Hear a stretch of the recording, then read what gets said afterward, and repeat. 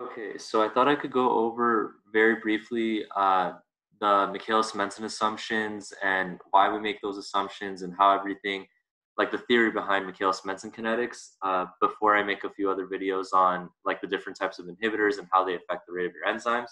But uh, I wanted to first start off and explain why we make the assumptions and what's the ES, this, the ES complex and how everything works. Uh, but before we do that, I wanted to go over a little bit of a background uh, just to explain how we came to these assumptions and how everything works the way it does. So before there was Michaelis and Menten, uh, scientists knew that if, let's say, we had some enzymes inside of a reaction beaker and we went and inserted some substrate right over here, right? They saw that if you add a substrate into something that had the, the enzymes, the enzymes will then convert the substrate into its products, and you will get a certain amount of product, right? So all these enzymes could be creating your products. So if I put this on like a graph and measured the substrate concentration versus reaction velocity, as I increase the substrate concentration, I should get more reactions happening per second and I should get more products over time, right? But they noticed that the more substrate they added, right, initially they would get more and more product. So initially there would be a linear increase with the concentration of substrate and the reaction velocity. But after a certain amount of time, they noticed that if they added even more and more substrate, right, they noticed that the reaction would kind of plateau off and they would get to like this maximal velocity, right? They would get to like this maximal rate. So if I drew this out, this would be kind of like a Vmax. They noticed that it, they, it, this reaction really got to a maximal velocity, so they realized that the rate of your reaction could not depend only on your substrate because if it only depended on the concentration of your substrate, your reaction velocity should always linearly increase with the amount of substrate you put in. But because it's plateauing off at this Vmax, that they didn't know exactly what was going on. But because they saw that it was plateauing off, the rate had to depend on something else. And that's where Michaelis and Menten came along, right? They came along and they said, oh, the rate or the maximum rate depends on something called the ES complex. And they hypothesized that all reactions undergo a two-step process where the first step is this binding step, right? So you have your enzyme and substrate that come together and undergo binding to form your ES complex, right? And then you have the catalysis step where the enzyme then converts that substrate into your product. So instead of it having where your substrate comes in and immediately turns to product where, and that's what they used to think, they, Michaelis and Menten realized that there's this two-step process where your substrate comes in and binds first, and then it forms your products through a catalysis step. And because there's two different steps. You have different rate constants associated with each step. So K1 refers to your binding. Okay. K minus 1 refers to unbinding or dissociation of your ES complex to enzyme and substrate. Then K, K2 is your catalysis. And then K minus 2 is I'm just going to put undoing catalysis. I'm sure there's another word for it, but going back to your ES complex. Okay. So they realized that there are these four um, factors that they needed to account for. And because they realized that there was this ES complex, they couldn't experimentally still isolate the ES complex. It was something that was hard to see. It was very hard to visualize in the reaction flask. But they knew that there was this ES complex because when they made that model, all the mathematical data when they conducted other experiments and they were trying to see the rate of the enzymes they noticed that the mathematical data fit this model that they hypothesized. And it wasn't until like 15 years after where um, scientists were able to visualize an es complex and then it confirmed their michaelis and menten's theory. But in order to get to that final michaelis menten equation that uh, we are going to be using in our class you have to make some assumptions in order to simplify the formula. And that's the whole point behind why we have these assumptions is because it's a two-step process and it depends on a lot of rate constants, K1, K negative 1, K2, K negative 2. Um, we want to have these assumptions to simplify the model so that we can get an equation that's not only easy to use, but it's useful for us, okay? So we come to these three Michaelis-Menten assumptions that I'm sure you've seen in class. So I'm gonna go over the basics of each one and see how it affects our formula and how it helps us get to a simpler formula, okay? So the first assumption is that we're gonna make the concentration of our substrate much, much, much, much greater than the concentration of our enzyme. So by doing this, if we make the concentration of substrate much, much greater than the concentration of enzyme, so if I do this, right, what's gonna happen is that as soon as my reaction starts, this is gonna ensure that my enzyme is gonna be saturated with my substrate, okay? And that catalysis is gonna be my rate determining step. So let's think about it like this. If I had some kind of reaction flask and I had I'm gonna make these Pac-Man things some enzymes. So these are my enzymes, right? If I put a much, much greater concentration of substrate than the concentration of enzyme, so you could think of it for every enzyme that I have over here, I'm just gonna put a bunch of S's. Maybe I should make it a different color.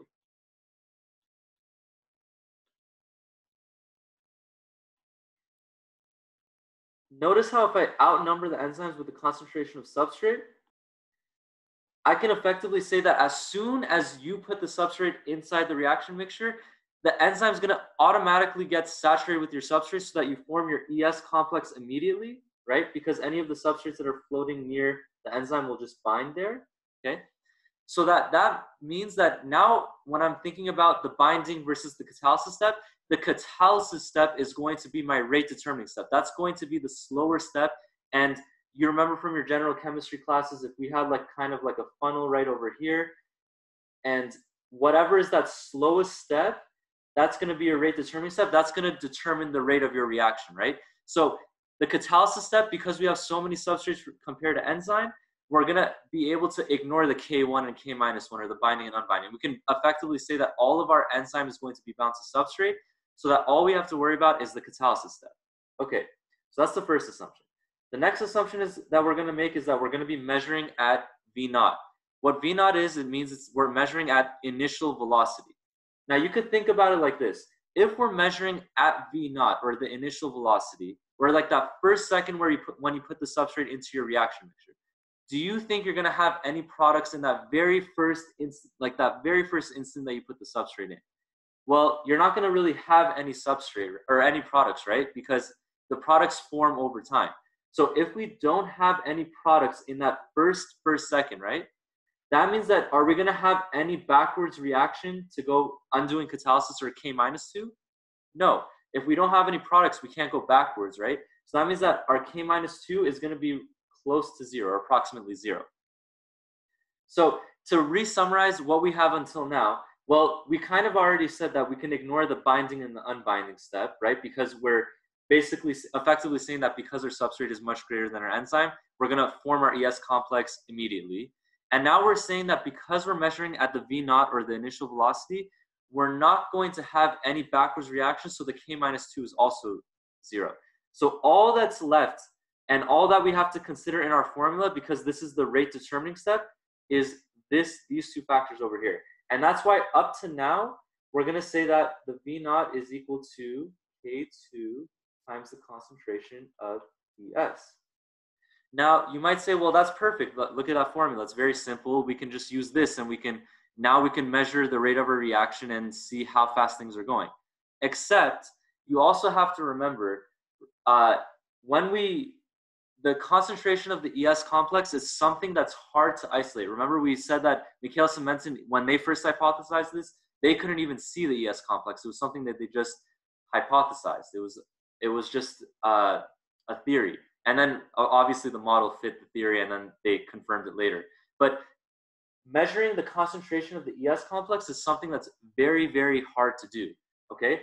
So by making this third assumption that our ES complex is at steady state, and this third assumption is kind of uh, following the first assumption, but by making this assumption that the ES complex is at steady state, right? we can say that this is a constant concentration because steady state tells us that something is constant, even though it's not actually constant. Um, over time, the concentration of ES complex was going to be decreasing because we're going to make product. But effectively, if we're measuring at the V naught or the initial velocity, the concentration we can effectively say is going to be constant and it's going to be at steady state. Now, if we say that this con- concentration is constant, I can make another video, but you can look in your textbook. We can then relate this factor, the concentration of ES complex, to other variables, and we can simplify our formula so that now instead of measuring the con- now instead of having to measure the concentration of our ES complex, we can measure the concentration of our substrate. Because remember, the substrate concentration is something that you know what you're adding because you know exactly how much substrate you're going to be adding into your reaction mixture. The concentration of your ES complex is something that's not easily seen or easily reportable. Okay, so by making that last assumption, we can then go and make other simplifications. And I can make a video on how you get from this formula to this final equation. But because we can make these simplifications, and by saying that the ES complex is at steady state, we can then use algebra and use uh, so or equations to then uh, get to this final equation where the initial velocity is equal to the Vmax times the concentration of substrate over the Km plus S. Okay, so with these three assumptions, we can get to this final formula, and now this is great because you can think of it that now we know if we add this amount of substrate, our initial velocity is going to equal that amount. The only thing that we need to know is the Vmax and the Km, and um, there are book values on the Km values and stuff like that. But again, let's just understand the terms that are found in our equation. So Vmax, again, remember when we were talking about this earlier, that artificial plateau that they saw, the Vmax, this is when all enzymes are saturated with substrate. So you could think of it like this, that all of the enzymes that we had over here, we're going to be putting so many substrate around them that there, there aren't any more things that can help catalyze reactions because our enzymes were the things that were helping catalyze the reactions. Whenever we reach that, when we reach that maximal velocity, it doesn't matter how many more substrate we put in. It's like we already have all these substrates here. It doesn't matter. All it's the reaction is going to be occurring as fast as it can because all those enzymes that were free, they're already going to be bound by substrate and you're forming that ES complex. So you're going to be limited by the number of enzymes you have. Okay, so we're going to say that our Vmax is going to be when all of our enzymes are saturated with substrate, and then the Km, which I'll make another video about, but the Km is the substrate concentration required for the initial velocity to equal half of your Vmax.